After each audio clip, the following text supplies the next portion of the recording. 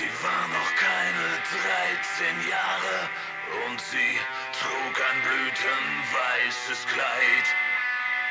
Die langen blond gelockten Haare umspielten Augen voller Traurigkeit.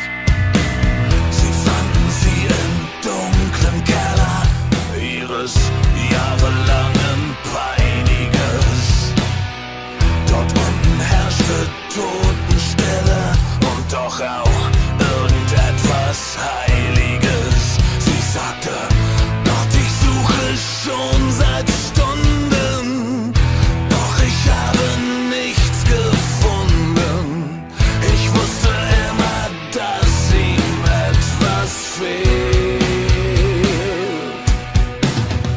wollte seine Seele sehen.